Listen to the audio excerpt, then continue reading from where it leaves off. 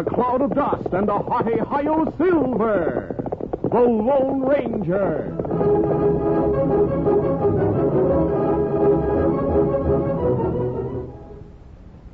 General Mills, makers of Cheerios, the ready-to-eat oat cereal that gives you go power, and Wheaties, the breakfast of champions, present by special recording The Lone Ranger. When boys line up to run a race, galloping Gordon sets the pace. He comes in first because he knows he's got go power from Cheerios. Yes, he's got go power. There he goes. He's feeling his Cheerios, Cheerios, Cheerios. And so will you. Once you're eating Cheerios every breakfast, you'll say the Cheerios taste simply wonderful, too. They're already cooked, shaped like little round O's, and just full of good toasted oat flavor. Pour out a big bowlful, add fresh milk, and pitch in. You can almost feel the go power. For a Cheerios breakfast is one of the finest ways you can get the vitamins, proteins, and minerals your body needs. A bowl of Cheerios and milk really starts your day right. Helps give you the good red blood, strong bones, and muscles. Go Power, you'll get it from Cheerios. Try it, and folks will say, He's feeling his Cheerios.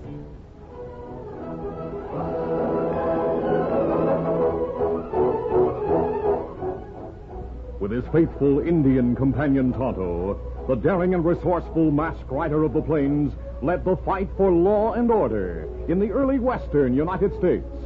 Nowhere in the pages of history can one find a greater champion of justice. Return with us now to those thrilling days of yesteryear. From out of the past come the thundering hoofbeats of the great horse Silver. The Lone Ranger rides again. Come on, Silver. Let's go, big fella. Hail, Silver. Away!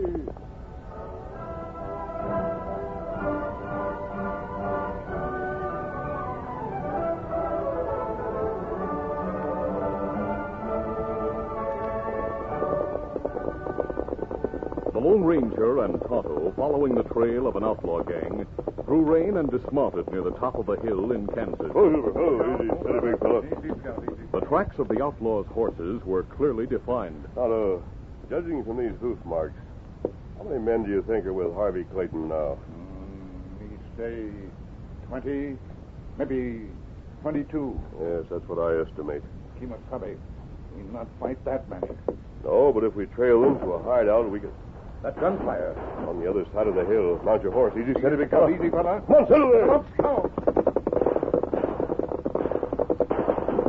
The Lone Ranger and Tonto hurried to the top of the hill where they halted at a stand of brushwood.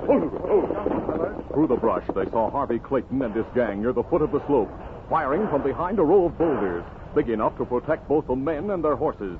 The outlaws were firing at a small detachment of United States cavalry that had been patrolling the valley. Troopers outnumbered. Them need help. Get our horses out of sight. Backtrack a few yards.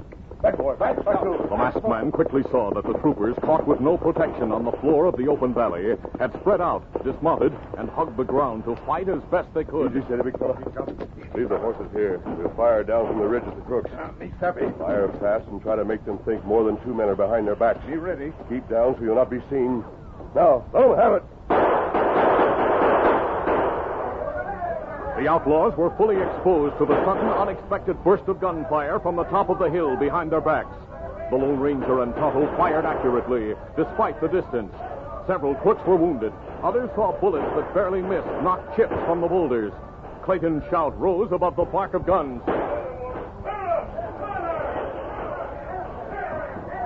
The guns of the Lone Ranger and Tonto were soon empty, but the devastating fire accomplished its purpose.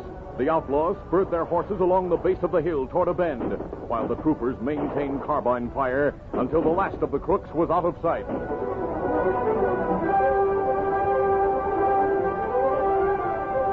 While reloading their guns after the skirmish, the Lone Ranger and Tonto saw a man in a captain's uniform right up the hill, and they stepped through the underbrush to meet him. Whoa there, whoa, Whoa, steady. Master, uh, can't say that I'm proud of the fact that I'm indebted to an outlaw gang. Captain, I'm not an outlaw, and I have no gang. Tonto's the only man with me.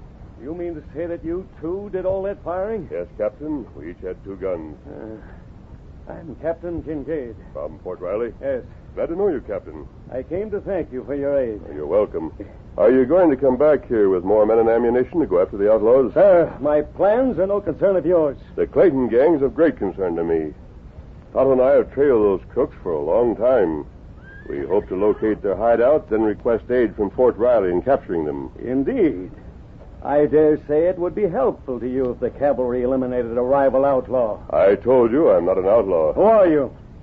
People call me the Lone Ranger. That means nothing to me. It will mean something to the commandant at Fort Riley. Colonel Selby? Yes, and so will the name Harvey Clayton. The colonel's familiar with the activities of the Clayton gang. Colonel Selby will read my report as a matter of standard procedure. Kemo Sabe. Yes, Tonto. Other soldier coming this way. Uphill. Lieutenant Clark, I told him to report to me as soon as possible. Captain Kincaid, will you please give Colonel Selby a message? What is the message?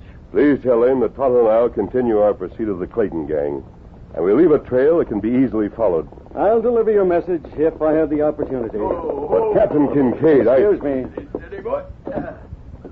Great Scott. A mess, man. Lieutenant, report on casualties. Yes, sir.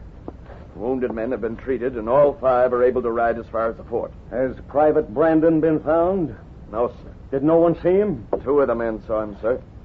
As soon as the shooting started, instead of dismounting to return the fire, he rode away. Cowardly deserter. It's hard to believe Jim Brandon's a coward, sir. Of course he's a coward. Well, it was his first time under fire. That's no excuse. When he's found, he'll be court-martialed. Return to your detachment, Lieutenant, and form the column. We're going back to the fort. Yes, sir. Easy, boy. Get up, get up there. Captain, is the deserter related to Major Brandon, who was killed by Indians a few years ago? The deserter is Major Brandon's son. Oh, Why did you ask? I knew Major Brandon. So did I. And it's a good thing he didn't live to see the day when his son would disgrace his good name. Steady there. Goodbye. Goodbye, Captain Kincaid. Get up there. Come on, get up. Otto, we get our horses. Ah. Captain, he plenty unfriendly. He still thinks I'm an outlaw, Tonto, and he hates outlaws. And him hate coward. I've heard of Captain Kincaid. He's been in Fort Riley only a short time. Steady, Silver. We're moving as soon as I tighten the cinch. I'd, I'd like to talk to Brandon. We follow tracks, look for him. I'd like to, but we've a more important job. Oh, follow Clayton gang. Yes, we'll stick to their trail. But from now on, we'll have to be more careful than ever to avoid an ambush. You ready? Easy. Uh-huh. Ready, big fella. Me ready, Kemo Sabe. Go on, Silver. Get him up, scout.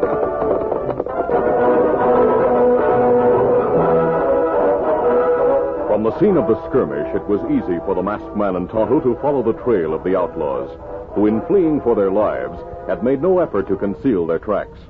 But darkness closed in to end the pursuit temporarily.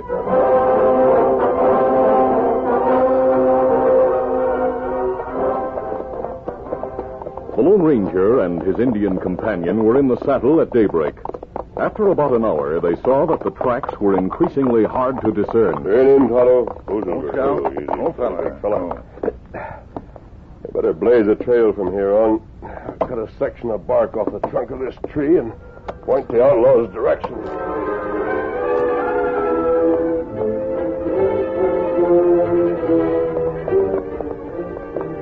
From that point, the trail of the outlaws led into desolate, rugged hills and through canyons floored with solid rock, where only the faintest of scratches gave evidence that horses had recently walked there. The masked man and Tonto were able to continue the pursuit only because of their ability to find marks that would be imperceptible to anyone with skill less highly developed.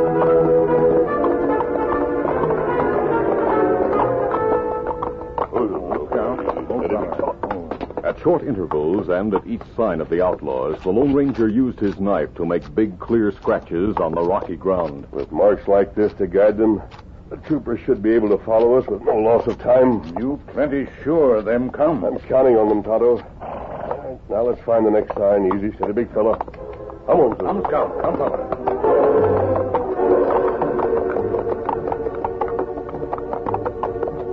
The canyon gradually narrowed until the high walls were less than 50 feet apart. At noon, when the two men neared a right angle turn, The masked man raised a hand and said, him, Tonto. No scout. Oh, fella. Oh. I'll see what's beyond the bend. We don't want to run into an ambush. Me look, Kemo Sabe. No, you stay here with the horses. I'll be right back. The Lone Ranger moved forward cautiously and disappeared around the bend. After several minutes, he rejoined Tonto and spoke in a voice of restrained excitement. Tonto, the end of the trail. Huh? You see outlaws, Kemo Sabe? No, but I saw a couple of their horses in a place that looks like a permanent hideout. This canyon has a dead end about a hundred yards beyond the bend. You mean it blind canyon? Yes. Outlaws not wise have hideout in place with only one way in and out. Maybe they are wise, Tonto. The walls are high and steep, and they're well fortified. They have a barricade of rocks across the canyon at its open end, leaving only a narrow gap. The crooks are camped in the enclosure provided by the barricade and the walls of the canyon. Outlaws see you? I'm sure they didn't. I crossed behind a big boulder a short distance beyond the bend. Ah, me savvy. Leave the horses here and come with me. We'll take positions behind the boulder and watch the outlaws camp until the cavalry arrives.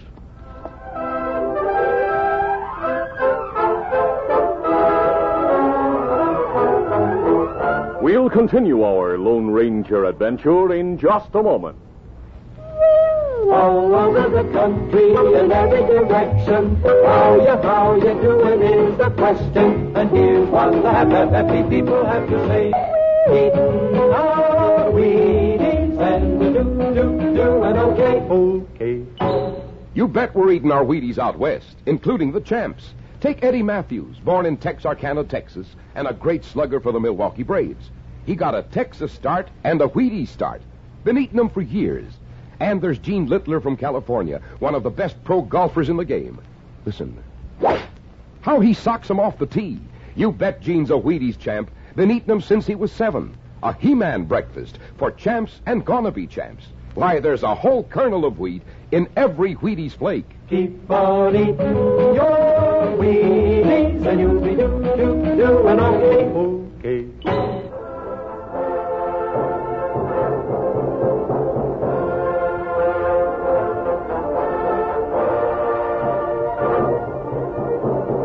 Now to continue. About an hour later, Jim Brandon, the deserter, rode slowly along the canyon floor, following the trail the Lone Ranger had defined by scratches on rocks. Shading his eyes from the overhead sun, the young private saw Scout and Silver at ground hitch. Oh, oh, easy. He dismounted and spoke to his horse. I'll leave you here, fella. The crooks are probably near those horses, and they'll hear me if I ride any closer. Leaving the army horse, Jim Brandon drew his gun and advanced silently. He passed the white horse and the paint. Then, standing close to the canyon wall and peering around the bend, he saw the masked man and Indian seated on the ground close to the boulder. He stepped into full view, leveled his gun, and called. Hands up, both of you. Put him up, I'll shoot. Get down. You're in plain view of killers. I'm covering the only killers I see. Hey, what? You fool, you! The first shot from the outlaw's hideout distracted Jim's attention. For the split second the Lone Ranger needed to leap from the shelter of the rock and grip the soldier's gun. Let go, I'll kill you. Me help. Keep I'll handle him, Tonto. You return that gunfire. Keep those crooks behind the rocks. He's savvy. The Lone Ranger fought to bring Jim behind the protecting boulder, while Jim, bewildered by the sudden developments, struggled to free his gun hand. Both were exposed to the gunfire of the outlaws, who were too distant for accuracy. But even at the distance, a bullet pierced the masked man's hat, and another grazed his shoulder. Finally, Jim's arm was twisted behind his back. He dropped the gun and cried, Get behind that rock before you're killed. All right, all right. Down, get down. Sit on the ground. When Jim and the Lone Ranger were beside Tonto, screened by the boulder, and out of the outlaw's view, the shooting stopped. All right, thanks to you, those outlaws know we're here. I thought you and the Indian were members of the gang. No, Brandon. We're not outlaws. How do you know my name? I knew your father, and you look just like him. You knew my dad. Who are you? He called me the Lone Ranger. The Lone Ranger. He told me about you. You gave him a silver bullet. I'm wearing it right now on my watch fob. I'm sorry I made a mistake and pulled a gun on you. You made a bigger mistake, Jim, when you deserted your comrades in battle. How do you know about that? Captain Kincaid told me after Tonto and I helped rout the Clayton gang. Ah, I'm ashamed of that. But I couldn't help myself.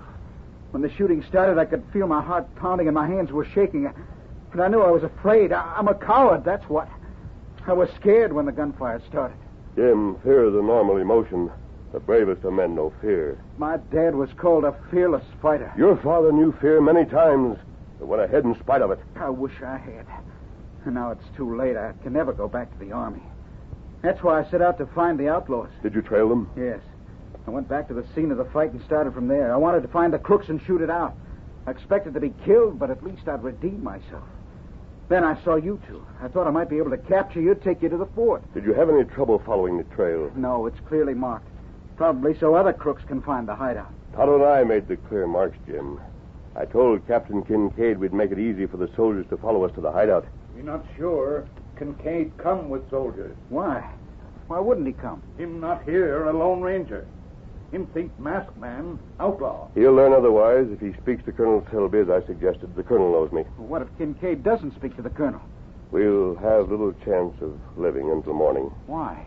Jim, if you look around the edge of this boulder, as Tonto's been doing, you'll see there's only a narrow opening through which the crooks can leave their barricade. I noticed that. We can keep them penned as long as we're able to see them. Them know it. That's why them not come out. After dark, they'll come out and close in on us. There'll be a fight, but it can't last long. Then Colonel Selby must be notified. Let's hope Kincaid speaks to him. Oh, but he won't. Kincaid's the most stubborn, opinionated man in the fort. Well, if we have to fight without help, we'll do our best. But you don't have to stay here. You can easily get away. Clayton and his outlaws know their hideout has been found, Jim. They'll move out the first opportunity. They'll probably commit many crimes before they're again trapped as they are now. Tonto and I'll stick to our post and hope that help arrives in time. Then I'll go to the fort. I'll let Colonel Selby know you're here. When you be seen, you be arrested. Then you face court martial. It doesn't matter what happens to me. But if the Lone Ranger's killed, well, oh, that can't happen. I'm going. The crooks see you. He knows till you're around the bend. Return the fire, Tonto. Outlaws, stop shooting now. And hold your fire. Jim's out of sight around the bend. He's safe. The outlaws can't get him now. Uh, him got plenty nerve to go to fort. Give him the chance, Tonto. He'll become a good soldier.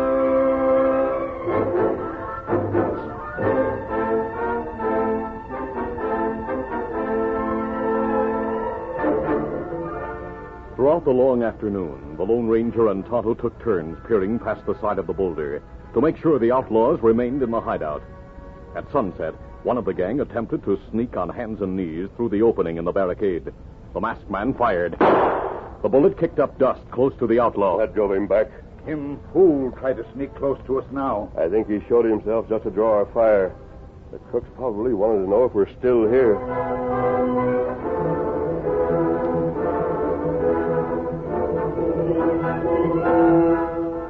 After sunset, darkness gathered quickly in the canyon. Hope the troopers would arrive diminished with each passing moment. The Lone Ranger and Tonto waited grimly, determined to stay and fight as long as they were able. The high, straight walls at the dead end of the canyon were bathed faintly in the glow of the outlaws' campfire, but the fire itself could not be seen because of the barricade. Suddenly, on the cliff high above the hideout, a ball of fire appeared against the night sky. Masabi, what's that in the sky? It's not in the sky. It's on the cliff. It's dropping down. And there's another fireball. Me see soldiers on cliff. They're dropping bundles of burning brush into the camp. Isn't that right? The soldiers dropped the fire so they can see the outlaws. Those crooks aren't as smart as they thought. They didn't expect an attack from above. Then shoot down now. Clayton and his men wasted no time returning the gunfire from above. They leaped to their horses and broke from behind the barricade. They're coming, Tonto. Open fire. Uh-huh. The Lone Ranger and Tonto fired fast, doing their best to prevent the escape of the outlaws. Then troopers appeared behind the masked man and Indian. It's Kincaid.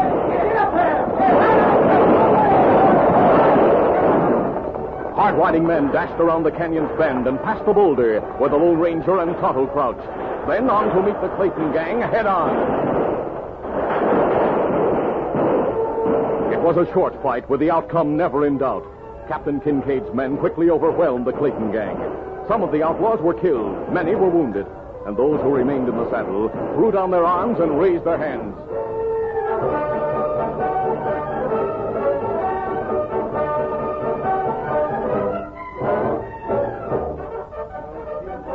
While the prisoners were being tied, Captain Kincaid approached the Lone Ranger and Tonto, who stood beside their horses. Well, sir, we meet again. Yes, Captain. Once more, I'm indebted to you. Well, that's hardly the case, Captain.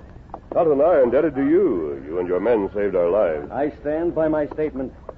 I owe you an explanation and an apology. But I. When Private Brandon returned to the fort voluntarily and told about you, I decided it might be wise to speak to Colonel Selby as you'd requested. I did so. Oh, I'm glad. We then questioned Brandon about the terrain, learned of the cliffs and the dead end of the canyon, and planned a strategy. The use of fireballs to drive the enemy from cover. It was very well planned, sir. Thank you. It was my own idea. Now, as for the apology, forgive me for thinking you an outlaw. Well, that's all right, Captain. Oh, I. I'd like to ask one question. Yes? What's to be done about Private Brandon? Hmm. Well, desertion is a serious offense. However, a soldier who returns voluntarily may be considered merely absent without leave. That opens the way to punishment, punishing the offender with nothing more than a fine reprimand. Good. Then Brandon will have another chance to become a soldier like his father. You may be sure of it. Now, will you shake hands? Yes, indeed. Thank you. I trust we'll meet again. Until then, sir, good luck. Thanks, and adios, Captain. Adios. Easy, steady, big fella. Easy, Scout, easy, fella. Let's go, Tonto. Come! Captain, column is formed. Ready for the return with the prisoners. Lieutenant, I have just shaken hands with a Lone Ranger.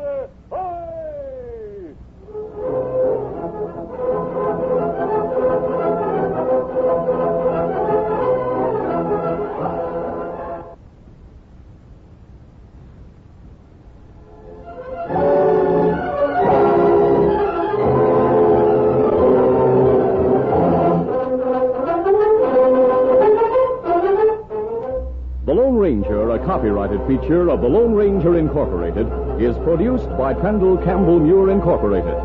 The part of the Lone Ranger is played by Brace Beemer. Your announcer, Fred Foy.